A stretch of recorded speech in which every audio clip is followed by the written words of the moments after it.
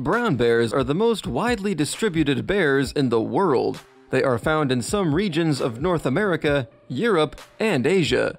They can be found in various habitats from the fridges of deserts to high mountain forests and ice fields. The animals usually choose areas with dense cover that can serve as shelter. The modern habitat range of this animal is not as vast as it was before.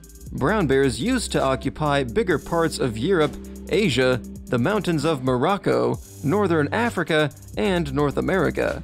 Today, the global population of brown bears is estimated to be about 200,000.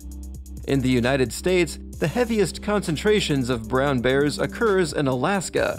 Their range in other states was reduced to less than 1% of its historical scope. Today, brown bears are regarded as animals of least concern, but there are many factors that threaten their future. The main threats include hunting, habitat destruction and fragmentation, persecution and human-bear conflicts, particularly in areas where bears can interfere with livestock orchards or water supplies, and human settlements.